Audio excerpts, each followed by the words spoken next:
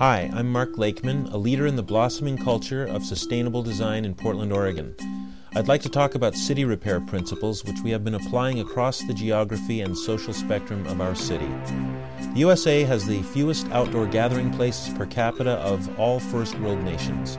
Our work challenges the dominance of civic space by automobiles and at the same time transforms the spaces of streets and intersections into places of activity and connection, bringing people outside of their homes to design, fund, build, and then inhabit gathering places that reflect a local vision and embody sustainable ideas. Toward a more sustainable future, our work brings people out of isolation so that they can design their own solutions. Our impact has spread to dozens of cities across the continent. Thank you.